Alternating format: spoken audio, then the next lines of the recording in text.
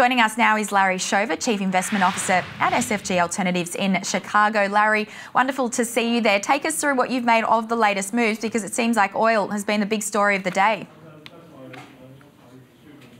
Yeah, it has been. And, uh, you know, the bigger surprise is that the stock market really doesn't seem to care right now. I mean, I know that we're down a half a percent, but you know, the market's been hobbling along the last three weeks sideways, really doing a whole lot of nothing. But yeah, it's surprising because $40 in U.S. terms seems to be a big barrier. And to break that, nobody seems to care.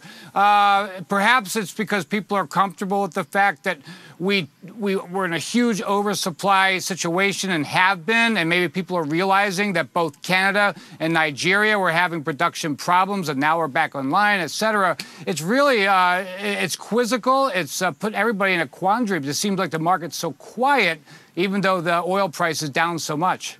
Yeah, that is very interesting. We were talking this morning about this sort of on again, off again correlation between equities and oil prices, and we're watching to see whether the market is, you know, starting to care about oil again. One of the groups that, that we need to closely watch to see if, uh, you know, if the, if the market does start correlating with oil again is those crude-linked regional banks. Is that right, Larry?